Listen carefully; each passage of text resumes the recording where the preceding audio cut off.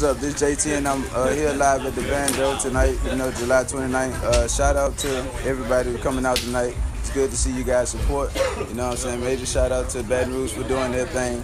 And definitely a shout out to Glen Oaks, you know what I'm saying? And that's what I'm doing this for. I appreciate you.